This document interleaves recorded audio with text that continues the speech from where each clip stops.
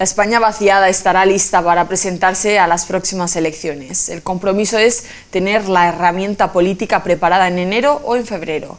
El objetivo es cambiar el modelo de desarrollo del país donde haya futuro en los pueblos y futuro en las zonas rurales.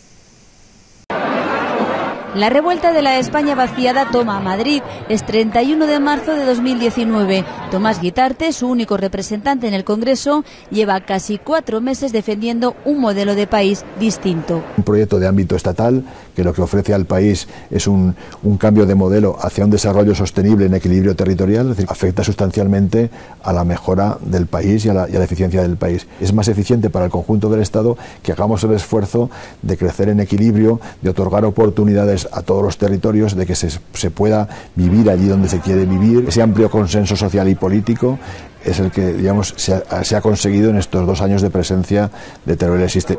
Guitarte es diputado. Viene de un movimiento diverso que reúne todos los perfiles, de entre 39 a 68 años. La pandemia que paró a la mayoría no lo logró con ellos.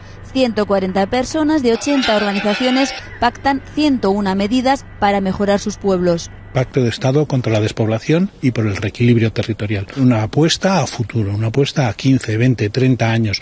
Medidas globales que solucionan los problemas locales de cada uno de nosotros. 100 megas de velocidad en Internet, 30 minutos a servicios básicos y 30 kilómetros a una vía de alta capacidad. Un país más equilibrado va a ser un país más fuerte, más productivo y más eficaz y sobre todo más sostenible.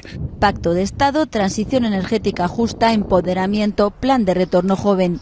En invierno hay momentos en los que no llegamos ni a 30. Hay médicos que están de baja y no lo sustituyen. Ni a la semana, dos horas a pasar consulta. ¿También me quieres quitar eso? a la gente que está en el pueblo que no tiene coche para poder bajar al pueblo de al lado. Pero ¿por qué estás dejando a una parte del territorio sin posibilidades? Estés donde estés, tienes que tener la misma calidad de servicios.